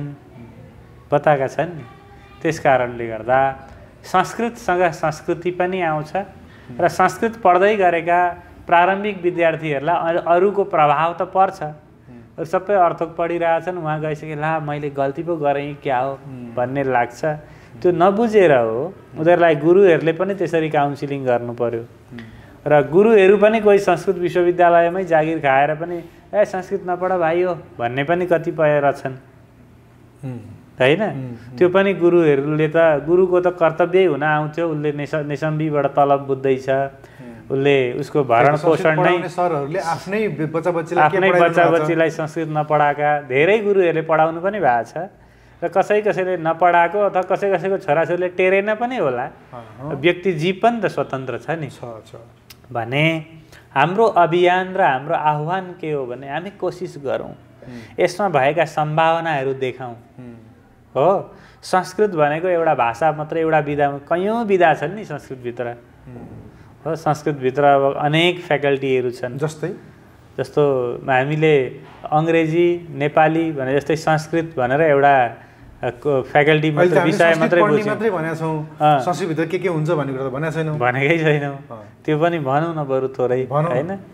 जस्तो एउटा कम्पलसरी सब्जेक्ट मात्रै होइन। संस्कृत वाङ्मय हो। वाङ्मय कस्तोलाई भनिन्छ भन्दा जसमा अनेक विधा हुन्छन् उसलाई भनिन्छ वाङ्मय।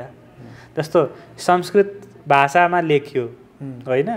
जस्तो अङ्ग्रेजीमा लेखेको जस्तो हामीले साइन्स पढ्दा पनि अङ्ग्रेजीमा लेखेको हुन्छ। किताब त अङ्ग्रेजीमा हुन्छ नि। तर तिमी के पढ्दैछौ बाबु भन्दा म अङ्ग्रेजी पढ्दैछु भन्दैन है त्यसले। के भन्छ? म साइन्स पढ्दैछु भन्छ। मेडिकलको पनि अङ्ग्रेजीमा लेखेको छ। तर उसले म मेडिकल स्टुडेन्ट हुँ भन्छ। अङ्ग्रेजी स्टुडेन्ट हुँ भन्दैन। त संस्कृतमा चाहिँ हाम्रो बुझाइ अलिकति कमजोर छ त्यसमा। हामी संस्कृत चाहिँ एउटै भाषा मात्रै हो कि भन्ने मान्छौँ। संस्कृत भाषामा लेखिएको ज्योतिष छ ज्योतिष छुट्टै विधा हो। ज्योतिषमै वर्षौँ मेहनत गर्दा ठ्याक्कै मलाई बताइदिनुहोस् प्लस टू गरेको एउटा बच्चाले हाम्रो कार्यक्रम हेऱ्यो। ल म ब्याचलरमा संस्कृत पढ्न जानु पर्यो भन्ने लाग्यो उसलाई। अब आएर उसले पढ्ने के के हो? ठ्याक्कै त्यहाँ। अब उसले आएर प्लस टू पास गरेको भर्खर बाह्रको रिजल्ट आयो कति राम्रो समयमा सम्झाउनु भयो खुसी लाग्यो। संस्कृत पढ्ने पहिलो विद्यार्थीले आउने प्राथमिक संस्कृत भनेर हामी प्लस टू पास गरेकालाई प्राकशास्त्री भनेर नेपाल संस्कृत विश्वविद्यालयले पढाउँछ।